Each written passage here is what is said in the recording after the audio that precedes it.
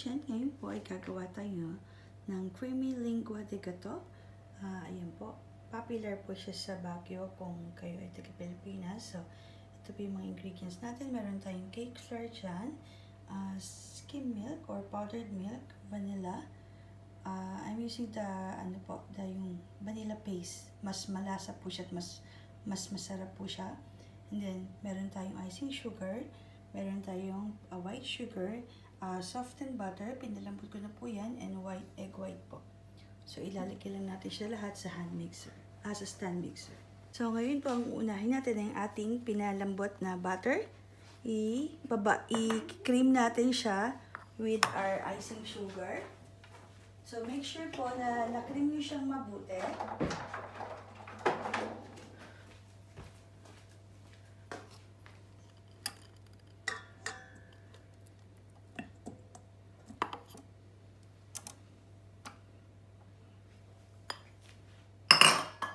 Yan. I-cream lang muna natin yung ating butter.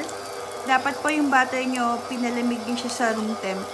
Huwag nyo po siyang ilalagay sa microwave kasi magmamelt siya, hindi natin kailangan melted. Soft lang po.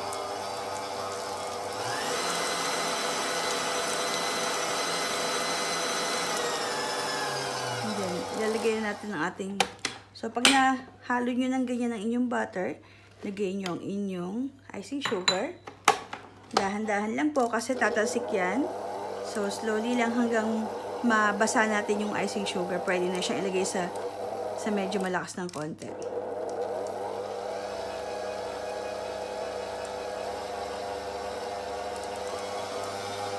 Tapos pag nakikita yung dumidikit sa gilid, scrape nyo lang po ng spatula para ma-mix siya properly.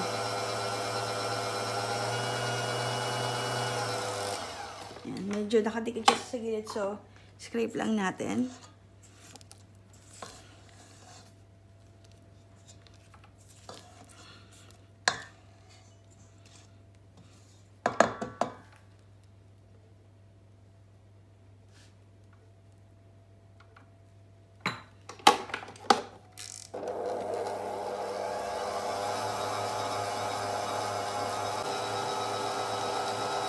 Ngayon po, ilalagay ko na aking vanilla paste.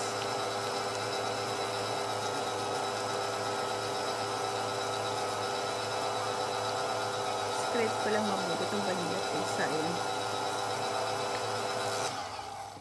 Scrape ko lang yung sides ng ating mixing bowl. Hindi pa natin nare-reach yung gusto nating texture ng ating butter and icing mixture. So, we need to keep yung gusto nating texture ng ating butter and icing is yung parang pag gumagawa tayo ng ng ano ng toppings natin sa ano sa icing sa cupcake natin yung icing. So, konti pa siya. So, ayan, na-reach na natin yung ating gusto na texture ng ating um, mixture na butter, icing, and vanilla. So, stop ko muna siya dyan. And then, ang gagawin ko naman ngayon is yung ating egg white dito, is ipo-foam natin siya ng konti. Hindi siya katulad ng parang icing na talagang foamy siya masyado, hindi po. So, papakita ko sa inyo mama, sa inyo mamaya, maya-maya lang. Sagit lang to. Hindi, na, hindi siya kailangan masyadong parang gagawa kayo ng mereng, hindi po. So, lalagay natin ang ating sugar. Pwede na nyo ilagay lahat yung sugar diretso.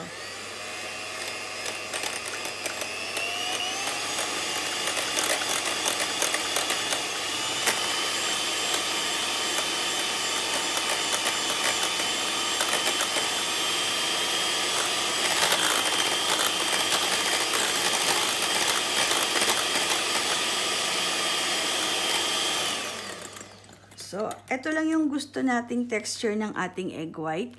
Kasi imimix pa natin siya sa ating stand mixer. So, ayan. Minix ko siya ng, sep uh, pinomi ko muna siya ng separate, ng ganyan lang.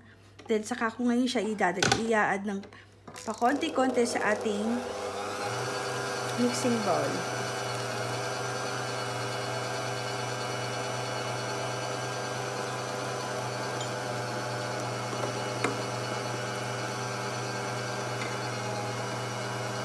Sairin nyo lang po siya.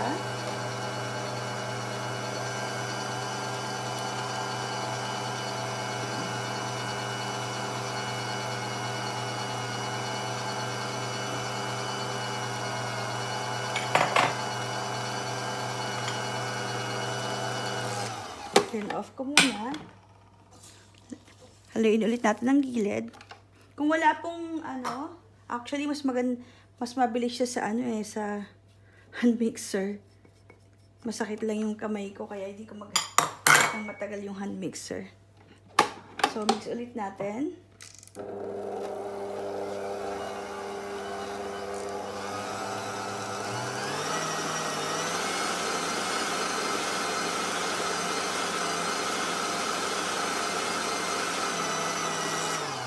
Okay, so ayan na yan. Stop na natin dyan. Then, saka natin ilalagay ang ating flour sa ating mixing bowl. Pero, hindi na natin siya gagamitin ng mixer. Ipo-fold lang natin siya ng ipo-fold. Folding lang tayo. Hindi na natin siya imimix using the stand mixer. So, ayan. Lagay ko muna yung half ng flour. Then, haluin nyo lang.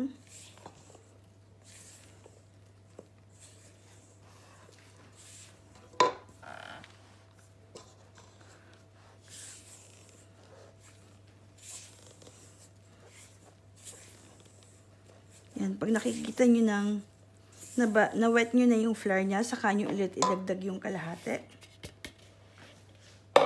Yung pong flour natin, every time nagagamit po kayo ng flour, any, any baking stuff na powdery, mas okay po siya kung isi-zip nyo. Kahit yung aking powder na milk, sinisif ko po yan.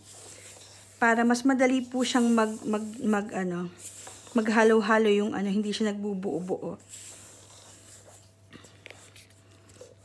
So, hintayin lang natin itong ma-mix ng, ng even.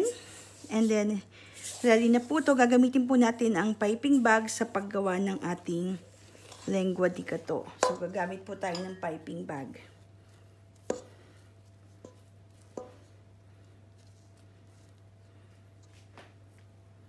So, ayan na po siya. Hahaluin ko pala ng konti ito pero ready na po yan. Bitan ko siya ng hand mixer kasi wala sa kondisyon ng aking kamay. Medyo masakit. So, pero actually dati ginagamit ko lang dyan. Kamay lang. Hinahalo ko lang yan. So, haluin ko lang to.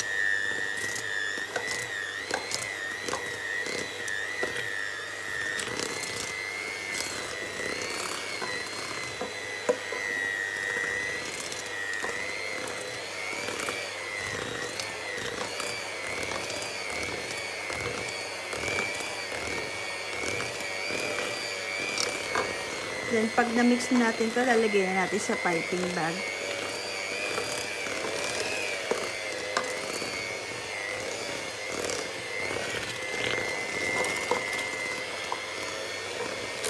Ayan. Ready na po yan. Ready na ang ating lengua di gato. So, ilalagay ko na siya sa piping bag. Yung piping bag natin, ginalagyan ko lang siya ng nozzle na maliit. Ayan. I don't know kung anong size to. But actually, kahit anong nasa ilagay nyo, basta yung, wag naman yung super liit. Pero, pwede rin kahit plain, kahit walang design. Kasi, once na naluto yan, yung design ng lengua di gato, actually, hindi nyo rin naman siya makikita. Ano rin siya, kasi more on butter siya, mag-melt din yung, ano niya. So, parang, ang shape niya is parang pahaba lang din siya na, na oblong. So, ilagay nyo lang sa bato, baso para mas madali nyong maipipe yung, ah, may malagyan yung inyong piping bag. At niready ko na rin ang aking tray para sa ating lengua di gato. At ang aking oven ay nakaset na siya. Uh, preheat ko siya ng 140. Pero mamaya, pag sinalang ko to ilalagay ko siya sa 160. So, ayan. Kunin ko lang yung ating tray para sa ating... Ayan na, nilagay ko na yung aking silicone na baking pad na trays para i-line up natin ang ating lengua di gato. So, mga ano lang po to ha, mga...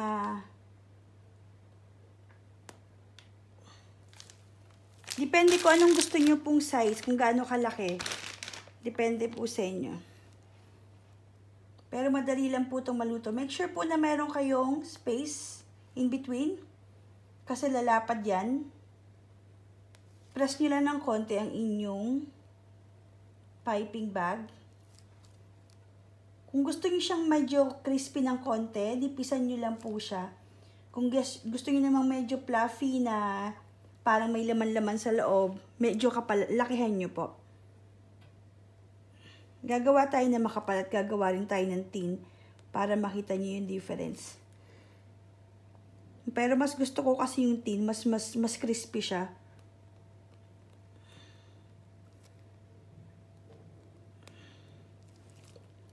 So, nakita niyo yung ginamit kong piping bag may design. Mamaya, pagluto po niyan, mawawala yung design na yan. Kasi magme-melt yung butter niya. So, hindi niyo na makikita yung design. So, tapusin ko lang to, yung ating baking tray, hanggang mapuno ko yung aking baking tray ng lengua di gato. So, ayan na po. Ready na ang ating lengua di gato para ilalagay ko na siya sa oven. Ayan.